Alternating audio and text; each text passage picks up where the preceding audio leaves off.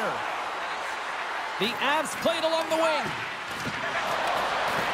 Oh, they'll be forced to start over from center as the puck leaves the zone.